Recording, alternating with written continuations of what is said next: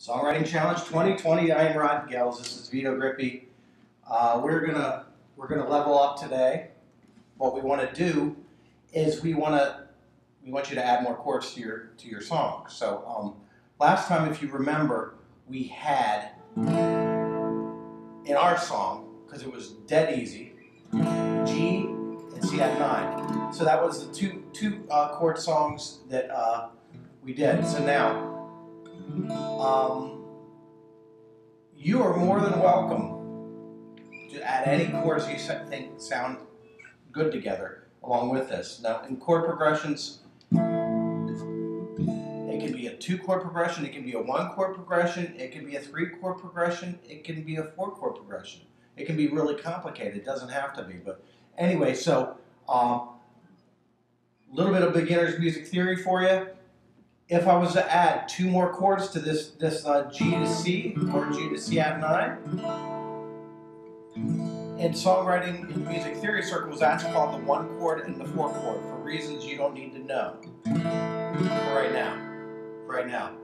This is right because Rod says so. Anyway, so the, the third chord that we would, we, we would add to that is going to be a D chord. That is what we call the five chord. Just memorize this as a five chord, beginners. This is G, this is C add 9, this is D. Alright? And then we have one more chord that I'm going to add to the mix. This, again for beginners,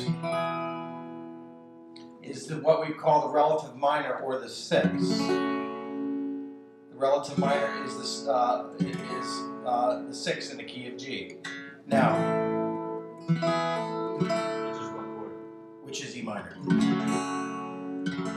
So we have G, C add 9, D, and E minor. So now, start writing your songs with those four chords. Some sort of configuration with those four chords. Okay? Uh, we want to talk about dummy lyrics today also and, and developing the dummy lyric. So we were talking about the, the, the last song we wrote, we had a reference to a specific year or address or Or uh, you want to go into this, Vito? Maybe a little bit. I think uh, during our dummy lyric session on uh, in the last in the last video, what we came up with was the 732 War, mm-hmm. which really isn't anything, unless maybe there's a historian out there who's going to prove me wrong. Um, and so, like in terms of a, a writing lyric or a song lyric, it really makes no sense, right? But as a dummy lyric, it's just a place to start. So one thing that I've been thinking about is well one would be if your dummy lyrics um, really make no sense and they're not saying anything for you, then, then they're good dummy lyrics. They're good dummy lyrics, and then you can trash them if you want. Um, but then another option could be, you know, maybe think about okay, so what is a 732 war? Nothing, right? But if you start thinking about maybe like metaphor, right, which is something that I like to think about when I'm when I'm writing poetry or songs. Um, you know, we use the, the idea of war as a metaphor for a lot of things. And then, so like one thing that started happening in my brain was, well, maybe 732 is a house address. And maybe war is a metaphor for an argument or a fight or a breakup or whatever it may be that happened in there. So then suddenly, you know, the 732 war or the war that happened at address 732 such and such street. And so that's where my mind starts kind of it's like ramble code, code language kind of like a code language. Yeah, some ways, yeah. Yeah. Um, and then the one thing that I like about lyrics is specificity. So in this case, even though it's a made-up place or made-up war, um, suddenly when you have a house address and something that happened in a house, then we're talking about real people, real feelings, real actions, and that kind of brings the song to life. At least. So the 732 war now has some sort of context because we can we can we can sort of sculpt the story around the what is what is being felt and the emotions that are going through and all that kind of stuff in in 732 uh, Stonewood like Drive or whatever. I'm just making yeah. it up. Howard Street, Stonewood Drive. Yeah. Your street, whatever yes. street you live on. Yes. Um, so um. Yes. the cool thing with the metaphor of war is then you have you can carry that out right? So if it is about a fight or an argument, um, you know, then that the metaphor of war brings up things like destruction and and that sort of thing. So you can start to kind of visualize maybe it's a broken lamp or a broken window, and, or thing, just things falling apart in general. Yeah, yeah.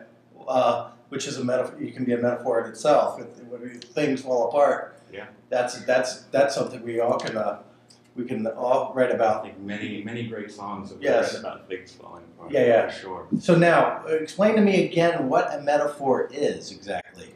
So metaphor would be basically, um, you know, naming something in place of something else. So if a war would be the metaphor for an argument, right? Or, um, I mean, there's lots of great metaphors, but you know, usually, you know, when I teach this in classes, it would be, you know, a simile is something is like something else. A metaphor is something else. So in this case, in our case, you know, war is the, the breakdown of a relationship, right? The destruction of a relationship, as opposed to a simile, which would be the relationship is like a war.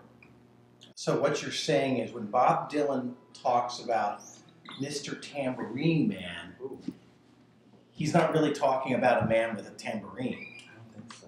All right. So that's a metaphor. I think so. Yeah. All right. So metaphors are really, really cool stuff in order to, uh, to put in our songs. Is what, what, what we're learning here. So anyway, so for next time, until we see you again, work on your four chord creations. It can be any four chords. Beginners, we have the the one, four, five because Rod says so chords,